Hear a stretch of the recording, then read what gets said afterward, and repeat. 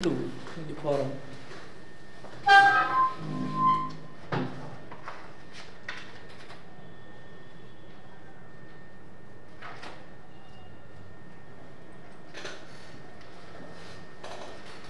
At the lines leading to O, P2 and P2 dash, at the lines leading to O, P2 and at the lines running to O, P2 and P2 dash, the crest of one wave falls over the crest of other wave. The crest of one wave falls over the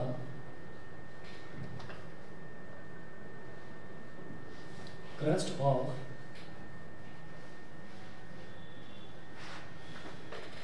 At the lines leading to O, P2 and P2 dash, the crest of one wave falls over the crest of other wave or the trough of one wave or the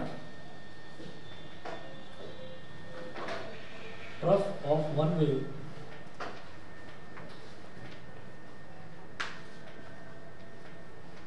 Falls over or the trough of one wave falls over the trough of of other wave. The amplitude, comma, the amplitudes of the two waves get added up.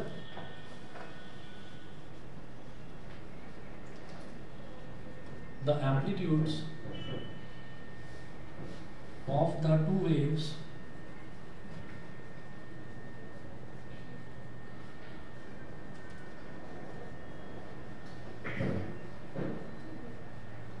the amplitudes of the two waves get added up and hence the intensity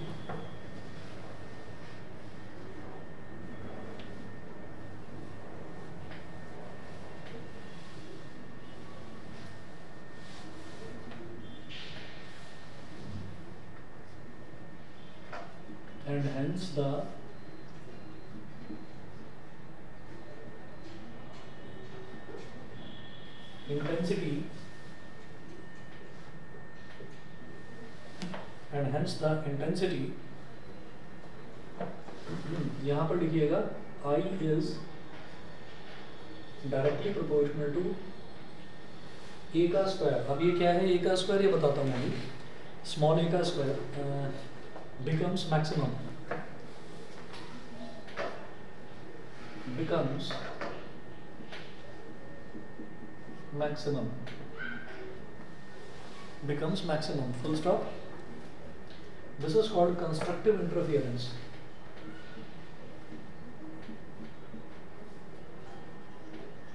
this is called constructive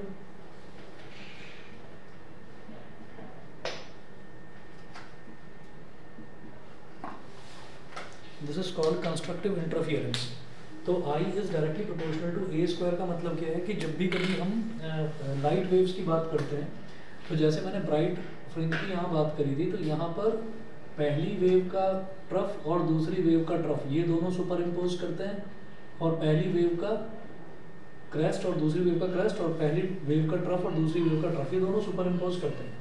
तो ऐसे में जो amplitude है amplitude तो बढ़ जाता है, और जब हम इंटेंसिटी की बात करते हैं इंटेंसिटी का मतलब होता है लाइट की ब्राइटनेस कितनी वो चमकदार है। तो जो इंटेंसिटी है, उसकी इंटेंसिटी जो है मल्टीप्लाई हो जाती है, ठीक है? तो इस वजह से हमने कहा कि अगर पहले वाले का एम्पलीट्यूड स्मॉल ए है, पहले वाले का एम्पलीट्यूड स्मॉल ए है और दूसरे वाले का भी एम्पलीट्यूड स्मॉल ए है तो वो दोनों मल्टीप्लाई होकर स्मॉल ए स्क्वायर बन जाते हैं। तो इसलिए हमने कहा कि I is directly proportional to A square where I is ये आई करंट नहीं है इंटेंसिटी है। इंटेंसिटी मतलब उसकी चमक, उसकी ब्राइटनेस ठीक है? चलिए, ये कह रहा था कंस्ट्रक्टिव इंटरफेरेंस क्यों? क्योंकि एक रोशनी और दूसरी रोशनी, एक लाइट वेव और दूसरी लाइट वेव के मिलने से हमको और ज़्यादा ब्राइट लाइट वेव मिल रही है। तो इसलिए something constructive is going on इसलिए कंस्ट्रक्टिव इंटरफेरेंस और जहाँ पर ये डार्क मिल रही है डार्क के केस में क्या होता है? डार्क के केस में एक लाइट वेव का क्रेस्ट और ट्रफ ये तो पूरी एक लाइट वेव बन गई। तो उसी टाइम इंटरवल पर दूसरी वाली का ट्रफ और दूसरी वाली के ट्रफ के साथ में पहली वाली का क्रस्ट, ये ऐसे आ जाते हैं।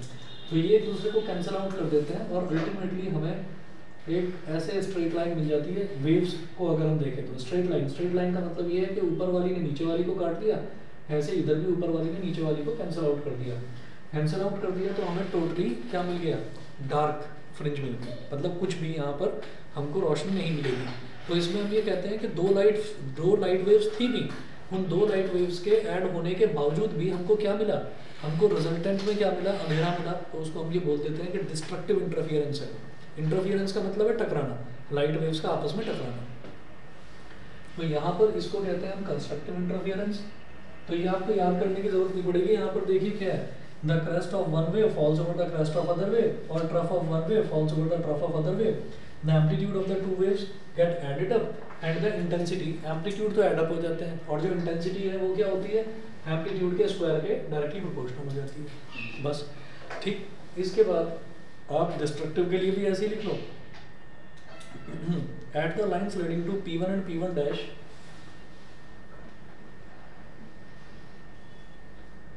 at the lines leading to sir एक वेव से जो दूसरी वेवलेट्स प्रोड्यूस होती है। वो जो वेवलेट्स प्रोड्यूस होती है हम्म। वो अपनी तो रियल वेव के वो अपनी रियल वेव के मतलब सारे प्रॉपर्टीज़ मतलब बिल्कुल सिमिलर ही वेव होगी। हाँ, similar। एग्जैक्ट वेव वही होगी। एग्जैक्ट तो नहीं होगी उसका मतलब उसकी एम्पलीट्यूड थोड़ा सा बढ़ जाएगा। उसका एम्पलीट्यूड थोड़ा सा बढ़ जाएगा क्योंकि आप देखते हैं ना कि रेडियस बढ़ता चला जाता है रिपल्स का। रिपल्स का रेडियस बढ़ता चला जाता है ना। तो पहली वाली का जो रेडियस है वो रेडियस कम होगा। दूसरी वाली का थोड़ा ज़्यादा तीसरी वाली का और ज़्यादा तो उसका वो एम्पलीट्यूड बढ़ता चला जाता है। ठीक है? और लाइट वेव्स की जब हम बात करते हैं तो एम्पलीट्यूड भले ही बढ़ जाता हो, लेकिन ब्राइटनेस कम होती चली जाती है इंटेंसिटी बिल्कुल अगर हम किसी सोर्स ऑफ़ लाइट के नज़दीक बैठकर कोई चीज़ अगर पढ़ेंगे तो साफ़ दिखाई देगी। थोड़ा दूर जाएँगे, थोड़ा धुंधली, थोड़ा दूर जाएँगे तो धीरे धीरे जितना हम दूर जाते जाएँगे तो हमको उसकी रोशनी थोड़ी थोड़ी कम होती चली जाएगी इंटेंसिटी इंटेंसिटी जो है, आप यहाँ पर ना कई चीज़ अभी इस बार जो वेव ऑप्टिक्स में हाँ वो सारी चीज़ें हैं नहीं सिलेबस में। हाँ, आपने देखा होगा इलेवंथ क्लास में ना हमने जो कुछ फंडामेंटल यूनिट्स करी थी। फंडामेंटल यूनिट्स में एक तो मास था। याद होगा डायमेंशनल एनालिसिस करते थे। मास लेंथ टाइम और क्या था? सर ये था एम्पियर हाँ, और क्या था? ये क्या था? करंट एम्पियर के लिए। ठीक है? एक और। फिर और क्या था बताएँगे? वो ल्यूमिनस हाँ इंटेंसिटी जो होती है हाँ। उसी को आई बोल देते हैं। ल्यूमिनस इंटेंसिटी यानी कि चमक। और इसकी जो यूनिट है इसको सीडी शॉर्ट में और वैसे होती है कैंडल कैंडल ये आया है कैंडल से। कैंडल से रोशनी का पता चलता है। तो ये कैंडला इसकी यूनिट होती है इंटेंसिटी तो कई बार ऐसा होता है कि आपने देखा होगा ना कि जैसे मार्केट में कई बार हमारे घर में कोई ट्यूबलाइट खराब हो गई हम ट्यूबलाइट लेने जाते हैं तो वो ये कहते हैं मतलब I am talking about that time जब एक ट्रांजिशन आया था कि सी एफ़ एल्स हटाकर और लोग एल ई डीज लगाने लगे थे। तो सब ये कहते थे कि आप 40 वॉट की सी एफ़ एल लोगे, आप एक काम करो, आप 15 वॉट की एल ई डी ले लो, वो बराबर रोशनी देगी। तो उसका जो बॉक्स होता था ना, उसके बॉक्स पर भी लिखा रहता था कि तीन सी एफ़ एल की इंटेंसिटी इतने कैंडेला और एक एल ई डी की इंटेंसिटी इतने कैंडेला तो ये लिखा रहता था उसमें। पुराने जमाने पुराना जमाना नहीं। सात आठ दिन मतलब सात आठ दिन का सात आठ साल। सात आठ। साल पुरानी बात है। तो तब बहुत मतलब हम भी जब यहाँ पर आए थे तो हमारे कुछ रूम्स में सी एफ़ एल लगी हुई थी और एक दो में यहाँ पर एलईडी लगा देते सर हैं नेट्स भी तो होती है। वहाँ पर हमने एलईडी ब्राइटनेस ब्राइटनेस की। ब्राइटनेस ब्राइटनेस यूनिट्स तो होती है ना। हाँ वो मैं बोल रहा हूँ मैं इंटेंसिटी की बात कर रहा हूँ। इंटेंसिटी मतलब कितना ब्राइट है कितना कम ब्राइट नेट्स बहुत छोटी होती अब देखिएगा the lines leading to P1 तो यहाँ जो आई की बात हो रही है, याद रखना, ये करंट नहीं है, ये इंटेंसिटी है। तो at the lines leading to P one and P1 dash P one and P one dash the crest of one wave falls over the trough of other.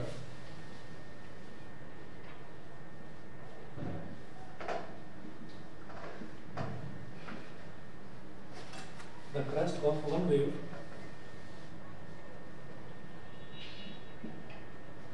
Falls over.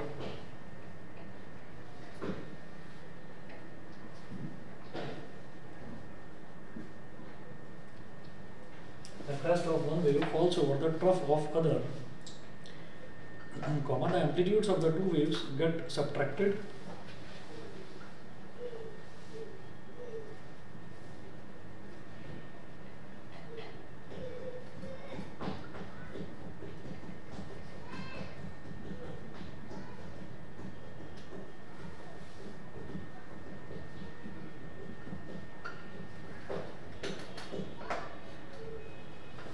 of the two waves get subtracted and hence the intensity becomes minimum.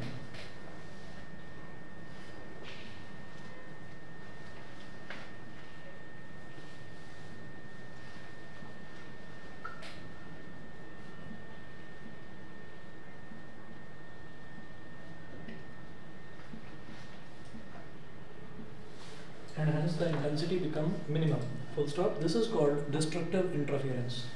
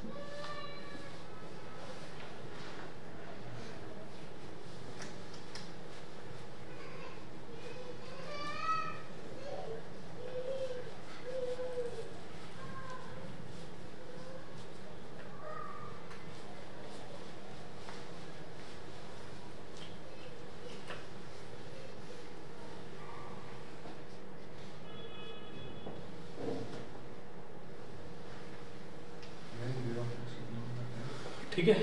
अब इसके बाद note करेंगे। Expression for intensity at any point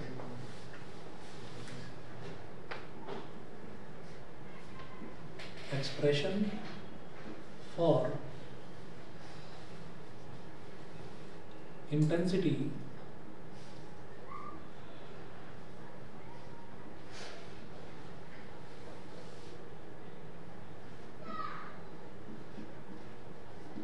expression for intensity at any point in interference pattern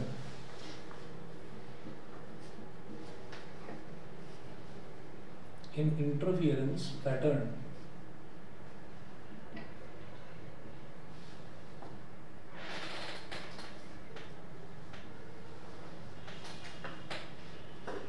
Expression for intensity at any point in interference pattern. to interference ka jo pattern hai interference का pattern ये होता है कि मुझे alternatively bright dark bright dark ये fringes मिलती जाती हैं। अब उसका एक्सप्रेशन भी तो कुछ होता होगा। याद करिएगा लास्ट ईयर का अगर थोड़ा बहुत वेव्स याद हो तो उसमें ना एक वेव की इक्वेशन बनती थी वेव की इक्वेशन ये होती थी, y is equal to A sine omega T और अगर इनिशियली उसका कुछ फ़ेज़ होता था तो हम ये बोल देते थे, y is equal to A sine omega T plus phi naught phi naught को उसका इनिशियल फ़ेज़ या इपॉक बोल देते थे। ठीक? अभी मैं सारी चीज़ें बताता हूँ। और इसकी बहुत ज़्यादा डिटेल में हमें ज़रूरत पड़ेगी नहीं।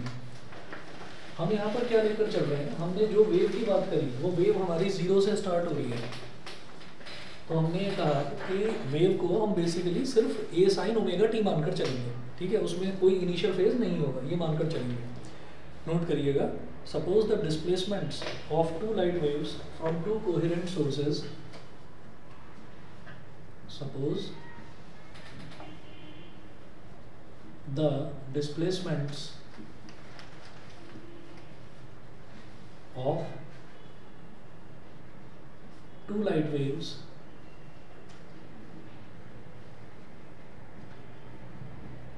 displacements of two light waves from two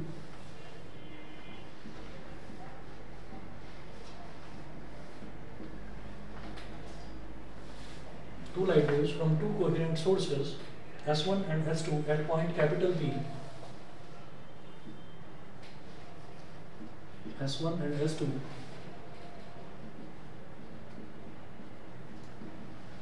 at point capital P at point capital P on the observation screen at any time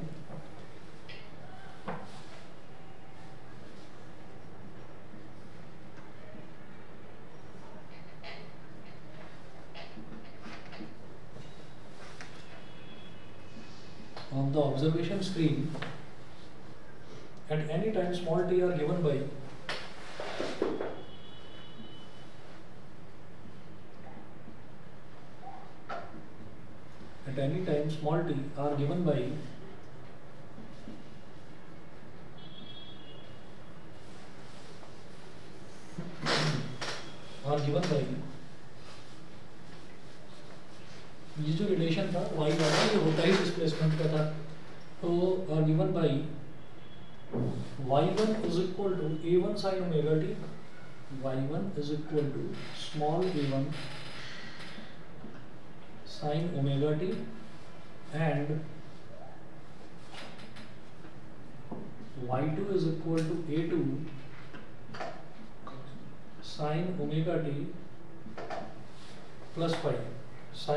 sine plus five अब देखिएगा, ये जो दोनों वेव्स हैं, हमने ना ऐसा देखा था कि यहाँ पर मान लीजिए, यहाँ पर इस जगह एक सोर्स ऑफ़ लाइट था ऐसे, और यहाँ से वेव निकल रही थी। तो हमने ना ये दो स्लिट्स ले ली थी, एक यहाँ पर S1 और एक यहाँ पर S2 ये दो हमने गैप छोड़ दिए थे। तो पहली वेव ऐसे निकली, फिर ऐसे निकली फिर वेव यहाँ पर ये ऐसे टकराई और यहाँ से ये वेव ऐसे आई। तो इसका मतलब जो यहाँ पर वेव्स जा रही हैं, वो इस तरीके से और इस तरीके से फिर ऐसे फिर ऐसे ये बन रही थी। तो हमने ये देखा था कि जो ये वाली वेव है, इसमें भी मतलब S1 पर जो वेव स्टार्ट हुई, उसका भी क्रस्ट स्टार्ट हुआ S2 पर जो वेव स्टार्ट हुई, उसका भी क्रस्ट स्टार्ट हुआ। लेकिन दोनों के बीच में एक डिफरेंस है। दोनों के बीच में एक डिफरेंस है। उसको फ़ेज़ डिफरेंस बोलते हैं। अब ये फ़ेज़ क्या है? अब फ़ेज़ याद हो पुराना आपको इलेवंथ का नहीं याद हो मैं आपको बताता हूँ फ़ेज़ का मतलब बेसिकली एंगल ही होता है ठीक है? ऐसा होता है कि जब भी कभी हम वेव्स की बात करते हैं तो waves are generally simple harmonic waves S H M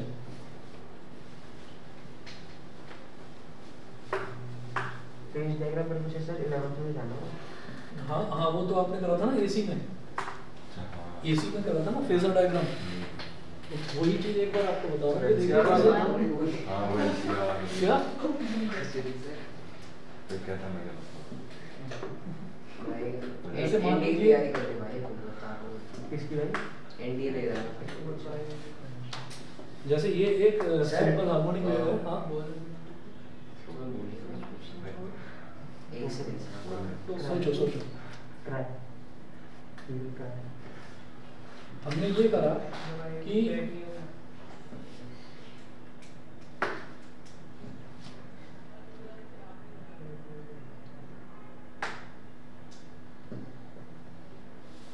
circular motion में और एसएचएम में रिलेशन देखने के लिए सर आपने हमें कहा कि फ़ेज़ एंगल है तो फ़ेज़ चेंज जब होगा तो कितने एंगल पे होगा क्या बता रहा हूँ मैं बस वही चीज़ बताना चाह रहा हूँ। हमने यहाँ से क्या करा था कि जैसे ये एस एच है तो यहाँ से मैंने एक परपेंडिकुलर इस पर ऐसे ड्रॉप करा ऐसे। फिर दूसरा ऐसे ड्रॉप करा। फिर तीसरा ऐसे। चौथा इस तरीके से। फिर पांचवा ऐसे। तो हम इस पर जितने भी परपेंडिकुलर्स ड्रॉप करेंगे वो सारे के सारे इस सर्कल की आपने एक सर्कल बना लिया कोई ये सर्कल इस तरीके से लिया आपने कि यहाँ जो ये मैक्सिमम इसका एम्पलीट्यूड है ना यहाँ से लेकर यहाँ तक वाला। ठीक है इसकी लेंथ आपने ली और बिल्कुल इसी रेडियस का आपने यहाँ पर सर्कल ड्रॉ कर दिया। ठीक है? और जो इसका ये वाला एक्सेस है, ये वाला एक्सेस जनरली कौन सा एक्सेस होता है? एक्स एक्सेस जो हम लेते हैं तो सिंपल हार्मोनिक मोशन में एक्स एक्सेस पर हम टाइम लेते हैं। ठीक है? तो हमने टाइम के ही टाइम के ही बिल्कुल कोलिनियर एक दूसरी एक्सेस बना ली। ठीक? अब हम अलग अलग पॉइंट से जब यहाँ पर ऐसे ऐसे ऐसे ऐसे परपेंडिकुलर ड्रॉप करेंगे तो हम ये देखेंगे कि ये वेव तो ऐसे ऊपर नीचे, फिर आगे वेव ऊपर नीचे ऊपर नीचे चलती जाएगी। और जब इससे हम किसी एक सर्कल को रिलेट करेंगे तो सर्कल पर अलग अलग पॉइंट पर, यहाँ यहाँ यहाँ यहाँ यहाँ, जैसे टकरा रही है। तो हर एक से अगर मैं प्रोजेक्शन ड्रॉप करूँगा एक्स एक्सिस पर तो जैसे जैसे ये वेव इस तरीके से ट्रेवल करेगी, वो प्रोजेक्शन ऐसे जाएगा, फिर ऐसे आएगा। ऐसे जाएगा, फिर ऐसे आएगा। नहीं समझ में आया तो दोबारा बताता हूँ। आप ये देखिएगा कि यहाँ से मैंने एक परपेंडिकुलर यहाँ ड्रॉप करा, फिर दूसरा यहाँ, फिर तीसरा यहाँ, फिर चौथा यहाँ, पांचवा यहाँ। फिर ये वाला इस जगह ये वाला इस जगह ये वाला इस जगह इस तरीके से हो गया। तो आप ये देखिए कि हमारी आधी वेव कंप्लीट हो गई। तो जब आधी वेव कंप्लीट हो गई तो ये एक मान लो एक दो तीन चार पाँच छः सात और आठ। ये आठ डॉट्स हैं। और कहाँ पर लाई करेंगे? ये सर्कल के सर्कमफ्रेंस पर ही लाई करेंगे। तो यहाँ से ना मैं नीचे प्रोजेक्शन ड्रॉप कर रहा हूँ। ये प्रोजेक्शन वही है जो हमने कल वेक्टर्स में देखा था ना projection of this vector on that हाँ। वेक्टर ये वही प्रोजेक्शन है। तो हमने यहाँ से ना परपेंडिकुलर्स ड्रॉप करने शुरू करे। ये देखिए, ऐसे ऐसे। फिर मान लो यहाँ पर भी कोई पॉइंट था जो इससे वेव से अटैच्ड था तो ऐसे। तो ये जितने भी परपेंडिकुलर्स हैं तो सबसे पहले आप ये देखिए, यहाँ पर, फिर यहाँ पर बेस ऑफ़ दिस प्रोजेक्शन ये प्रोजेक्शन कोई परपेंडिकुलर बोल रहे हैं। ये यहाँ पर, फिर यहाँ पर, फिर यहाँ पर, फिर यहाँ यहाँ यहाँ। तो आधी वेव जब यहाँ से यहाँ तक ट्रैवल करी तो वो जो प्रोजेक्शन थे, वो यहाँ से यहाँ से, ऐसे यहाँ तक आ गए। उसके बाद, जब इस पॉइंट से, अब मैं अगली आधी वेव की बात करता हूँ, जो नीचे की तरफ़ है तो इससे जब मैं इसको ज्वाइन करने की कोशिश करूँगा तो ये यहाँ पर और यहाँ पर स्ट्राइक करेगा। ऐसे इससे ज्वाइन करेंगे तो ये दो पॉइंट पर ऐसे स्ट्राइक करेगा, ऐसे ये दो पॉइंट्स पर करेगा। इनसे प्रोजेक्शन डालो, देखो इससे इससे, इस वाले पॉइंट से, इस वाले पॉइंट से, इस वाले पॉइंट से तो अब क्या होगा अब ये प्रोजेक्शंस इधर मूव करेंगे। तो इससे क्या समझ में आ रहा है? कि जब सिंपल हार्मोनिक मोशन में वेव ऊपर जाएगी तो प्रोजेक्शन अगर उससे हम सर्कुलर मोशन की बात करते हैं तो वो राइट से लेफ़्ट जाएँगे। और अगर नीचे जाएगी तो वो प्रोजेक्शन लेफ़्ट से राइट जाएँगे। तो जो जो जो आपका वेव है वेव तो ऊपर, नीचे ऊपर नीचे ऊपर, नीचे क्रैश ऑफ़ क्रैश ऑफ़ चलते रहेंगे। और सर्कुलर मोशन में वो left right left right left right इस तरह से चलता रहेगा। अब इससे मैं क्या समझना चाहता हूँ? हम ये कहते हैं कि हमें ना ये नहीं समझ में आता कि जी वे, वेव में आप एंगल कहाँ पर दिखा देते हो? वेव में मुझे टाइम ड्यूरेशन समझ में आती है हमने कह दिया ठीक है। यहाँ से लेकर यहाँ तक। हमें टाइम ड्यूरेशन समझ में आती है कि वेव ने जब अपनी एक साइकिल कंप्लीट करी तो उसको हम बोल देते हैं कैपिटल टी उसको हम बोल देते हैं कैपिटल टी तो अब आप ये बताइए कि इस सर्कुलर मोशन से मुझे क्या समझ में आ रहा है?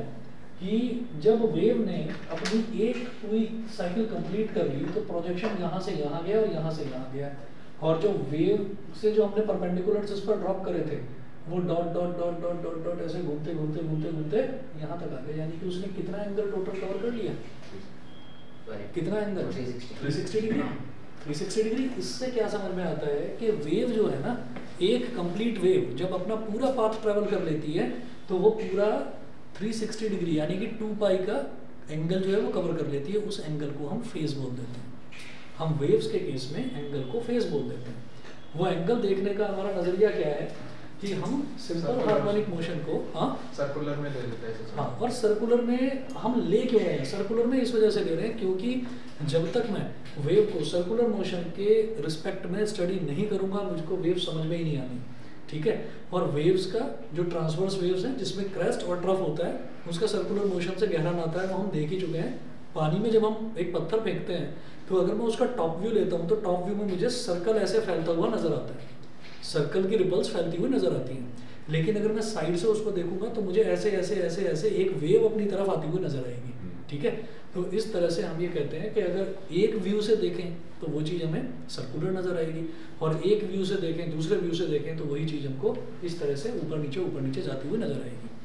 तो इसलिए मैं ये कहता हूँ कि जब हमारा एक सर्कुलर मोशन होता है, इस डायग्राम्स को सारे को बनाने की ज़रूरत नहीं है। ये तो मैं आपको एक बार रिकॉल करा रहा हूँ कि फ़ेज़ का यहाँ पर मतलब क्या है। हमने ये कहा कि इनिशियली मान लो वेव यहाँ पर थी। या वेव से जो हमने प्रोजेक्शन ड्रॉप करा, जो परपेंडिकुलर ड्रॉप करा, वो यहाँ पर था। भाई ये डॉट्स थे ना वेव से मैंने यहाँ पर ड्रॉप करा तो मान लो यहाँ पर था। फिर वेव यहाँ तक, मान लीजिए यहाँ तक पहुँच गई, इस जगह तक। ठीक है? तो यहाँ से यहाँ तक पहुँच गई। बस मैं इतनी वेव स्टडी कर रहा हूँ, मैं पूरी वेव स्टडी ही नहीं कर रहा तो इसको मैंने ओ बोल दिया। इस वाले पॉइंट को बेटा पी बोल दिया, इस वाले पॉइंट को क्यू बोल दिया। अब नॉर्मल सर्कुलर मोशन पर आ जाओ। जब कोई पार्टिकल किसी सर्कुलर मोशन में मूव करता है तो मैं उसकी वेलोसिटी को क्या बोलता हूँ? रेडियल वेलोसिटी रेडियल वेलोसिटी क्या होती है? ओमेगा ठीक है? अच्छा और जितना वो एंगल स्वीप करता है उस एंगल को हम क्या बोल देते हैं? Theta theta is called angular displacement ये एंगुलर डिस्प्लेसमेंट है ये एंगुलर वेलोसिटी है. ठीक? अच्छा उसके बाद हमने ये कहा कि ये यहाँ से यहाँ तक कितने टाइम ड्यूरेशन में पहुँचा? ई से क्यू तक ये पहुँच गया टी टाइम ड्यूरेशन में स्मॉल टी है तो मेरे पास वेलोसिटी है डिस्प्लेसमेंट है और टाइम है. तो जो एंगुलर वेलोसिटी एंगुलर डिस्प्लेसमेंट इन सब में जो टाइम जो फॉर्मूला लगता है वो भी हमारा लीनियर वाला ही लगता है। कैसे? नॉर्मली हम ये जानते हैं कि displacement so velocity is equal to displacement upon time तो डिस्प्लेसमेंट क्या हो जाएगा? वेलोसिटी इनटू टाइम ठीक है? तो displacement is equal to velocity into time अब वही चीज़ यहाँ पर देखिए बस एंगुलर शब्द लगा देना angular displacement is equal to angular velocity into time angular velocity into time अब बेटा एंगुलर डिस्प्लेसमेंट होता है थीटा और एंगुलर वेलोसिटी होती है ओमेगा और टाइम होता है टी तो ओमेगा टी इस वजह से अगर मैं यहाँ पर ओमेगा टी की बात कर रहा हूँ तो ओमेगा टी एंगल है। और इस एंगल को क्योंकि हमने रिलेट करा है एक फेजर डायग्राम के थ्रू इसलिए इस एंगल को हम फ़ेज़ बोल देते हैं। ये जो हम वेव से इस तरीके से सर्कुलर मोशन पर इसको सर्कुलर प्लॉट पर प्लॉट करते हैं ना सर्कुलर प्लेन पर प्लॉट करते हैं तो उसको हम बोल देते हैं फ़ेज़ उस केस में एंगल को हम बोल देते हैं फ़ेज़ तो इस वजह से theta is equal to omega T होता है तो ये याद रहेगा ओमेगा टी जो है ये हमारा हमेशा क्या होगा ये एंगल होगा ये थीटा होगा। ठीक है? उसके बाद हम ये कहते हैं कि अगर एक वेव जो है, एक वेव यहाँ से स्टार्ट हुई, और बेटा दूसरी वेव जो है ना, दूसरी वेव मान लीजिए यहाँ से स्टार्ट हो गई ऐसे। ये मेरी हो गई फ़र्स्ट वेव ये हो गई सेकंड वेव फ़र्स्ट वेव और सेकंड वेव तो इन दोनों के बीच में फ़ेज़ डिफरेंस कितना है? मैं ऐसे ही कैसे बता सकता हूँ कि इन दोनों के बीच में फ़ेज़ डिफरेंस कितना है? ये बताने का एक तरीका होता है। कुछ मत वो सर्कल नहीं बनाना। वो तो मैंने आपको, ये तो बेस समझा दिया। ये बेस आपको कहीं पर समझाना ही नहीं है, खुद को समझाने के लिए रिकॉल करने के लिए, क्योंकि हम फ़ेज़ फ़ेज़ फ़ेज़ फ़ेज़ इसकी बात बहुत करने वाले हैं आगे।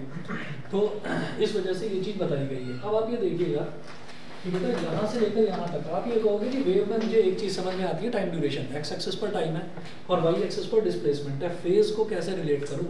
बिना ये डायग्राम बनाए। अभी बताते हैं।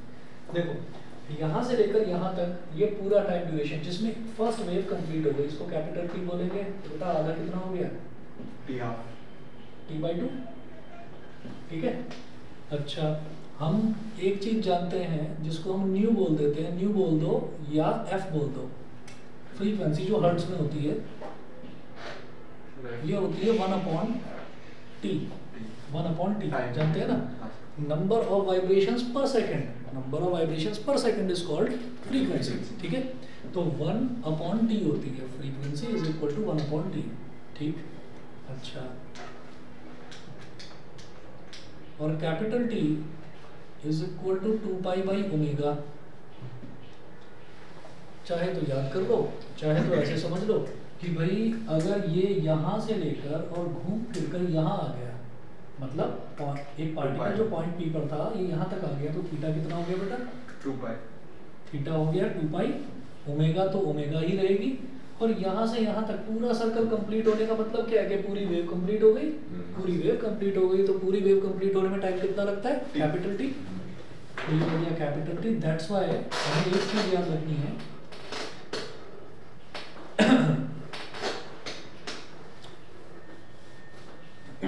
T is equal to 2 pi by omega.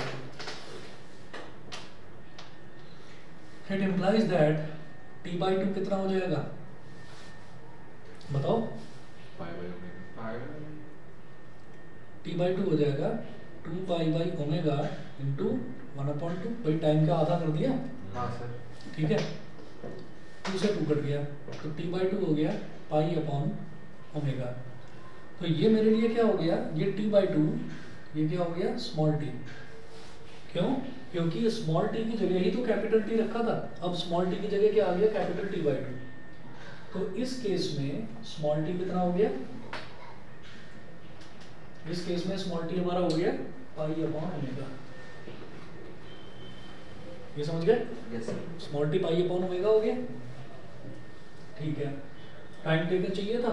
अच्छा और जो वेलोसिटी है एंगुलर वेलोसिटी वो तो ओमेगा ही रहेगी। हाँ। टी आ गया। ये आ गया। टाइम आ गया। वेलोसिटी आ गया। डिस्प्लेसमेंट कैसे निकालूँगा theta is equal to omega into T omega into pi upon omega omega से ओमेगा कट गया तो कितना आ गया? पाई तो यहाँ पर मैं क्या बोलूँगा कि भाई जब पहली वाली वेव तो यहाँ से स्टार्ट हो रही है दूसरी वाली वेव यहाँ से स्टार्ट हो रही है दोनों के बीच का टाइम गैप बताओ कितना है? कैपिटल टी बाई टू जब दोनों के बीच का time gap capital T by two है तो दोनों के बीच का फ़ेज़ डिफरेंस कितना हो जाएगा? 180 डिग्री पाई समझ गए? दोनों के बीच का फ़ेज़ डिफरेंस कितना हो जाएगा? पाई तो इसके लिए ये बार बार एंगल बनाना सर्कुलर से कंपेयर करना ये कुछ ज़रूरत नहीं है। अब एक फंडा याद रखना। ये सारी चीज़ कैसे आई ये मैंने आपको बताया ठीक है? दोबारा समझाता हूँ कि वेव यहाँ से स्टार्ट हुई और दूसरी वेव सेकंड वेव यहाँ से स्टार्ट हुई तो दोनों के बीच में फ़ेज़ डिफरेंस कितना है? दोनों के बीच में फ़ेज़ डिफरेंस कितना है? 180 डिग्री का। क्योंकि वो 180 डिग्री बाद में स्टार्ट हुई है। 180 डिग्री बाद में मतलब टी बाई टू तो भाई कैपिटल टी का डिफरेंस हो तो टू पाई का डिफरेंस है। कैपिटल टी बाई टू का डिफरेंस है तो उसका आधा कर दो 180 डिग्री का डिफरेंस है। टी बाई फोर का डिफरेंस है तो फिर 90 डिग्री का फ़ेज़ डिफरेंस है। बस ये याद रखना। कैपिटल टी मतलब 360 डिग्री यानी कि टू पाई अब कैपिटल टी के जितने भी मल्टीपल्स हों, ठीक है? कैपिटल टी को आधा करो तो आप क्या करो टू पाई को आधा कर दो। कैपिटल टी को वन थर्ड करना है तो टू पाई को वन थर्ड कर दो। बस ये करना है ठीक है? और ये चीज़ किस लिए कर रहे हैं हम? ये बताने के लिए। फाइव ओमेगा टी क्या है? ओमेगा टी तो थीटा है। ओमेगा टी तो थीटा है। ठीक? लेकिन जो दूसरी वाली वेव है, जैसे ये फ़र्स्ट वेव है और दूसरी वाली वेव है, अगर वो 180 डिग्री, यानी कि पाई के फ़ेज़ डिफरेंस के बाद स्टार्ट होती है तो हम ये कहेंगे कि फाई की वैल्यू 180 डिग्री हो जाएगी। ज़रूरी थोड़ी है। भाई हमने ये कहा कि दो वेव सुपर इम्पोज कर रही है। तो वो जो दो वेव सुपर इम्पोज कर रही है उनके बीच में कुछ गैप तो होगा। क्यों? क्योंकि भाई वो मैंने बिठा दिया क्योंकि एक तो है स्लिट वन पर और एक है स्लिट टू पर। जब स्लिट वन और स्लिट टू में डिफरेंस है तो दोनों में कुछ ना कुछ तो फ़ेज़ डिफरेंस होगा। भाई वो जो वेव जा रही है वो पहले टकराई एस वन पर फिर टकराई एस टू में तो दोनों के बीच में टाइम का गैप है टाइम का गैप है तो फ़ेज़ का गैप अपने आप हो जाएगा। समझ गए? टाइम का गैप है तो फ़ेज़ का गैप अपने आप हो जाएगा। ये वाली वेव हो रही है ज़ीरो सेकंड पर स्टार्ट और सोचो कैपिटल टी की वैल्यू फोर सेकंड है तो ये हो रही है दो सेकंड बाद स्टार्ट नहीं समझे? कैपिटल टी की वैल्यू अगर चार सेकंड है तो जो दूसरी वाली वेव है वो दो सेकंड यानी कि चार के आधे के बाद यानी कि दो सेकंड के बाद स्टार्ट हो रही है। तो इस तरह से अगर मुझे टाइम का गैप पता है अगर मुझे टाइम का गैप पता है तो मैं एंगल का गैप बड़े आराम से बता सकता हूँ। टाइम और एंगल दोनों के दोनों प्रोपोर्शनल चलते हैं। प्रोपोर्शनल कैसा? टाइम को आधा। कैपिटल टी बराबर टू पाई समझ लो बस। कैपिटल टी है, अगर कैपिटल टी का गैप है तो टू पाई का फ़ेज़ डिफरेंस है। अगर टी बाई टू का है तो वन एट्टी डिग्री का। समझ गए? क्लियर है इतना? फ़ाइल में दिक्कत नहीं होगी ना? हम्म? चलिए, अब ये सारी कहानी, ये जो सब, ये जो मैंने यहाँ से लेकर इतना जो है समझाया ना, ये इलेवंथ क्लास का मैंने आपको चीज़ रिकॉल करा दी। अब इसके बाद मैं ये कहूँगा कि मैं क्या कर रहा हूँ अब? ये हमारा डिस्प्लेसमेंट है पहली वेव का। ये अच्छा दूसरी चीज़, भाई डिस्प्लेसमेंट के लिए तो हमने एक्स पढ़ा है, यहाँ पर वाई का क्या मतलब है? यहाँ पर वाई का क्या मतलब है? भाई वेव जो है वो वर्टिकली ऊपर नीचे ऊपर नीचे हो रही है वेव ठीक है? वर्टिकली ऊपर नीचे हो रही है तो वर्टिकल जब एम्पलीट्यूड ऊपर और नीचे जाएगा तो vertical axis is always Y axis इस वजह से यहाँ पर डिस्प्लेसमेंट को हम वाई लेकर जा रहे हैं। समझ गए? ठीक है? चलिए जी उसके बाद अब हमें क्या करना है? ये जो दोनों वेव्स हैं, ये दोनों वेव्स को सुपर इम्पोज कराना है। तो जो सुपर इम्पोज कराने का डायग्राम तो ये है कि भाई यहाँ पर एक वेव है तो दूसरी वेव ये हो जाएगी। ये डायग्राम आपको बनाना नहीं है। ये तो डायग्रामेटिक रिप्रेजेंटेशन हो गया और मैथमेटिकल सुपरपोजिशन प्रिंसिपल मैथमेटिकल में क्या करना है? दोनों को ऐड करते हैं। तो दोनों को ऐड करना है। मुझे वाई वन और वाई टू को। बेटा ऑनलाइन वालों को क्लियर है यहाँ तक? ये बता दीजिए। यस सर ठीक है? चलिए। तो अब जरा देखिएगा कि इसमें मुझे करना क्या है। ये हाँ ये सारी चीज़ें मिटा दूँ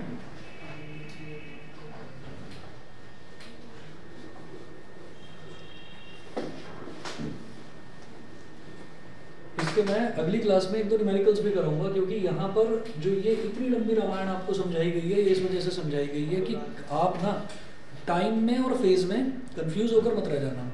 क्योंकि उसे ना एग्जामिनर को अगर आपसे फ़ेज़ पूछना होगा वो फ़ेज़ नहीं देगा, वो टाइम देगा। और अगर उसको टाइम पूछना होगा तो वो टाइम नहीं देगा वो फेस देगा।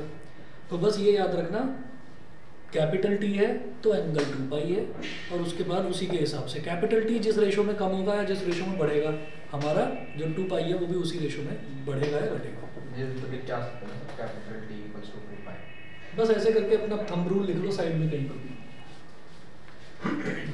दो तीन चीज़ें लिख लो कि कैपिटल टी हाँ।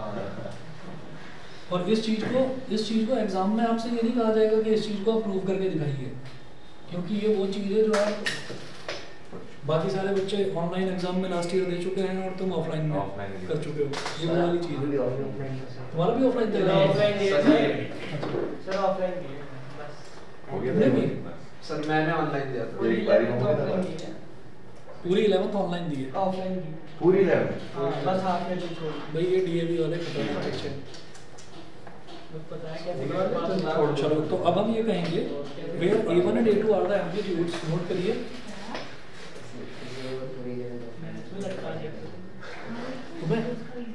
वो में तो सर टीचर से लड़ाई हुई थी ना पापा की और मेरी तो। वो सबने मैंने शीट भी मांगी थी प्रिंसिपल से उसने मना किया। बदमाश हो। गया नहीं वो बदतमीजी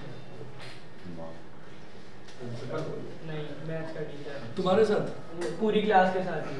अट्ठाईस बच्चे फेल थे फाइनल डिग्गल तुम्हारी क्लास में? नहीं डिग्गल। सी सेक्शन डिग्गल पास हो गया था बेचारा। वो भी बस ऐसे हुआ तो सारे। वो बता रहा था उसको। बता रहा था Where A1 and A2 are the amplitudes sir उसने पता कंपार्टमेंट में भी ना चौदह बच्चे फेल कर दिए थे।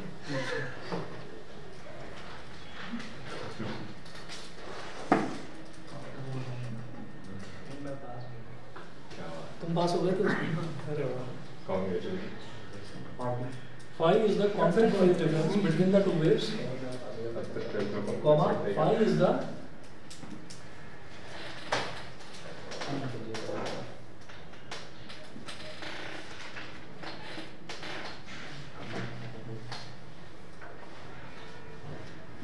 phase difference between the two waves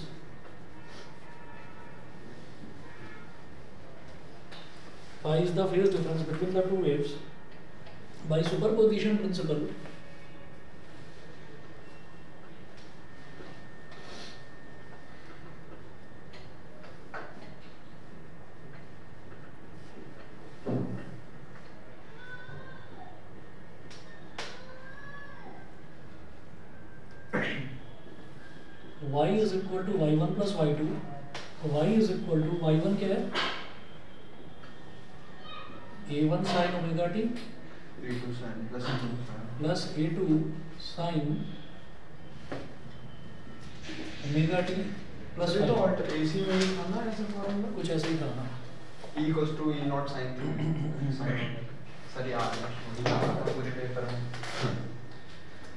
चलिए जी अब इसको एक्सपैंड करो आप। तो y इज़ इक्वल टू क्या हो गया? A one sine omega T plus ये हो गया A two sine A plus B क्या होता है? Sine A cos B plus cos A sine B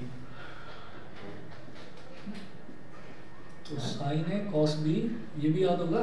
हाँ ये याद है सर यही पेपर में आता है। Plus cos A sine B बना देते हैं सर याद होता है। नहीं भाई सर से पूछ ले क्या फॉर्मूला निकाला था मैंने फिर इसके पेपर के लिए भाई मुझे बाकी फॉर्मूले तो नहीं पता। है।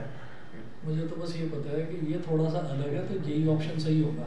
हाँ। एमसीक्यू में तो कुछ ऐसा ही करा देखिए। एक ही ऑप्शन है डेसिमल वाला तो डेसिमल वाला तो यही होगा। और वो सही भी निकल रहा सही था। निकल खतरनाक करके इसके वैसे थोड़ा दिमाग वाले लोग ही कंप्लेंट कर सकते हैं उस चीज़ को। A two sine omega T for example cos phi plus A two cos omega T sine phi अब इसमें क्या करिए? जैसे आपको यहाँ दिखाई दे रहा है कि इसमें भी साइन ओमेगा टी है, इसमें भी साइन ओमेगा टी है तो साइन ओमेगा टी को कॉमन लेकर बाद में लिख यहाँ आप कहेंगे y is equal to A one plus A two cos phi और ब्रैकेट के बाहर लिख लीजिए sine omega T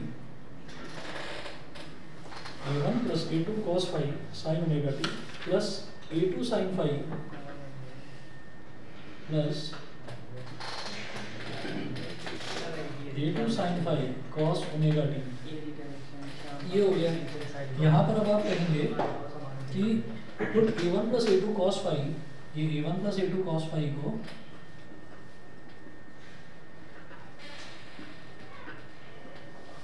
put a1 plus a2 cos phi is equal to capital A cos theta capital A cos theta and a2 sin phi is equal to capital A sine theta capital A sine theta तो यहाँ से अब हम ये कहेंगे therefore small Y is equal to capital A cos theta sine omega T capital A cos theta sine omega T plus A two sine phi को किया गया capital A sine theta A sine theta cos omega T sir इसमें जिसने derive किया था जो मतलब सबसे पहले पहले जो अगर किसी को पता ही नहीं था वो थोड़ा पागल था क्या? सोच नहीं। रहा था। सोचने की क्षमता थोड़ी ज़्यादा थी। अभी हम जाएँगे उसमें भी। तो सर सर मैं आधे में मर जाऊँगा। नहीं कोई बात नहीं। सही है पॉपुलेशन ऐसे बढ़ती है। Sine omega T cos theta sine omega T cos theta plus cos omega T sine theta ये क्या हो गया? Sine A cos B plus cos A sine B तो ये होता है साइन ए प्लस बी तो y is equal to A sine omega T plus theta ठीक है? तो ये दो वेव्स को सुपर इम्पोज करके हमने एक सिंगल वेव बना दी।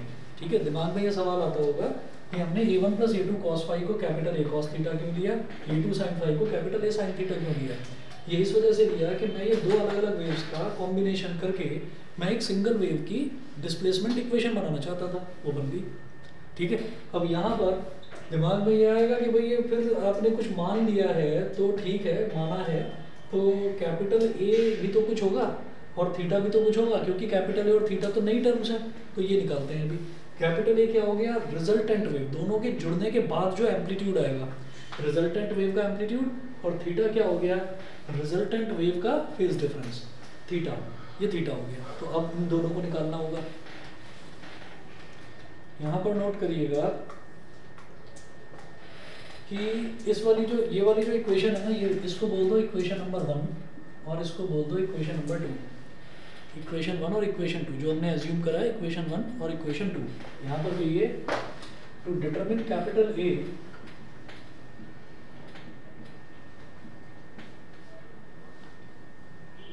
to determine capital A square and add equation 1 and 2 equation one को भी स्क्वायर कर दो और इक्वेशन टू को भी स्क्वायर कर दो और फिर ऐड कर दो तो क्या हो जाएगा? है दोनों ही होंगे ना जब स्क्वायर और ऐड होंगे तो दोनों ही। लेफ़्ट हैंड साइड का भी स्क्वायर राइट हैंड साइड का भी स्क्वायर तो A one plus A two cos phi A one plus A two cos phi का whole square is equal to capital A cos theta का square मतलब A square cos square theta तो मैंने पहली equation का square कर दिया, फिर दूसरी इक्वेशन का स्क्वायर करो तो बेटा ये हो जाएगा A two square A two square sine square phi is equal to capital A square sine square theta अब दोनों को ऐड कर ऐड करने पर ये क्या बनेगा? A one square plus A two square cos square phi A square plus B square plus two A B plus two A one A two cos phi plus A two square sine square phi is equal to A square cos square theta plus A square sine square theta समझ रहे अब देखिएगा ये जो A one square है इसको ऐसे लिखो A one square plus A two square common ले लो ब्रैकेट में क्या आ जाएगा? Cos square phi plus sine square phi समझ गए? Cos square phi plus sine square phi क्या हो जाएगा? वन हो जाएगा? हाँ ठीक है? Plus two A one A two cos phi two A one A two cos phi is equal to right hand side में कैपिटल ए स्क्वायर कॉमन आ गया। तो ब्रैकेट में क्या बचा? Cos square theta plus sine square theta cos square theta plus sine square theta क्या हो गया वन तो राइट हैंड साइड वाला टर्म अब मैं पलट कर इधर लेफ़्ट हैंड साइड पर लिख देता हूँ तो ए स्क्वायर बचा sir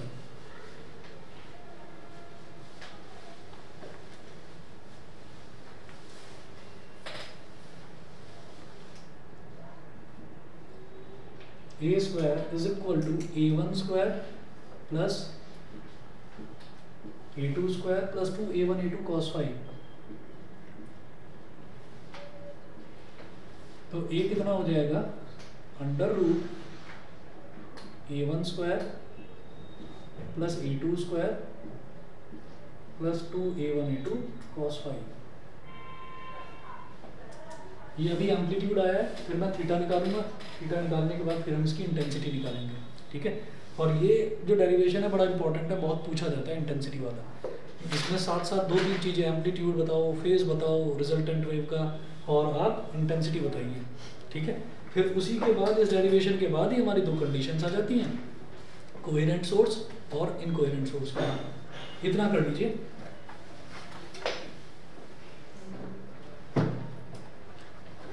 ठीक है? अच्छा अभी प्रॉमिस नहीं करता हूँ। कल मैं फिजिक्स की क्लास ले सकता हूँ। बस देख लेना मैसेज देख लेना। दोपहर तो बारह या एक बजे तक मैं मैसेज कर दूँगा। रखूँगा तो शाम को ये चार या पाँच बजे के आसपास।